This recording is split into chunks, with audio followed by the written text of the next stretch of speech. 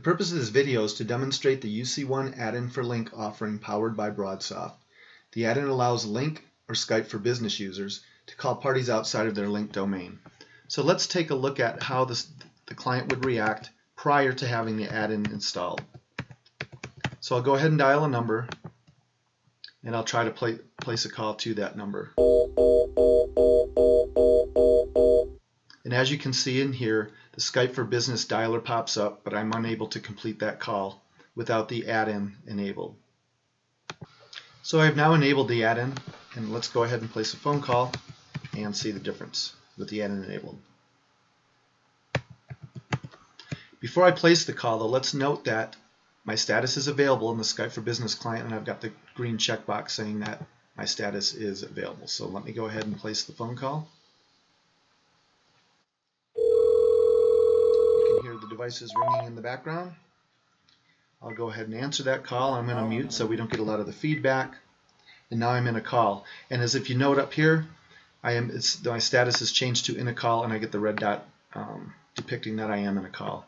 So now we can start looking at some of the business features that the add-in allows users to take advantage of. So if we click on the three bars over here, we can simply put the call on hold.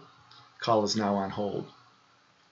I can unhold the call I can also transfer the call. So let's take a look and see what that looks like. So I'm going to do a new. So I'm going to go down here and select new.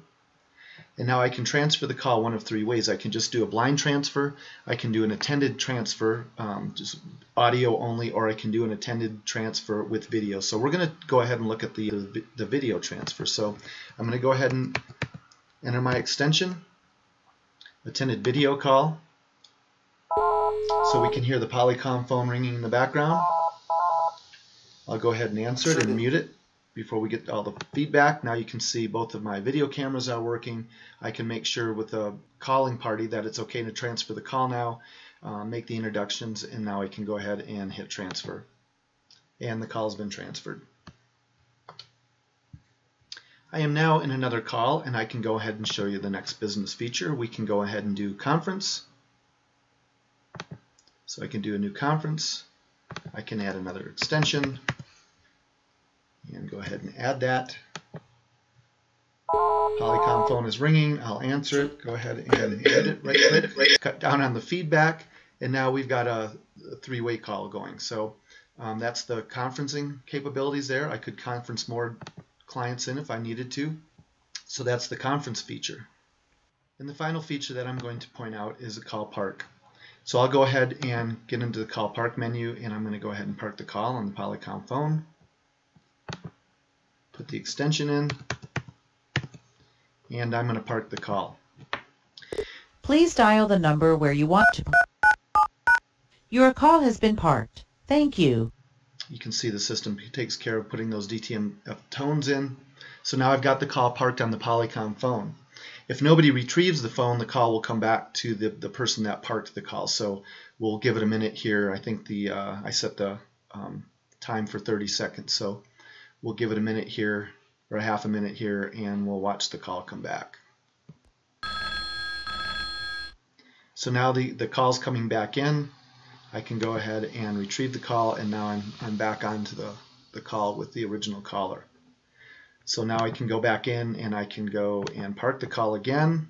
In the meantime, I've reached out to the user that I'm trying to get a hold of and they're waiting for the phone call now so I can go and park it at their extension.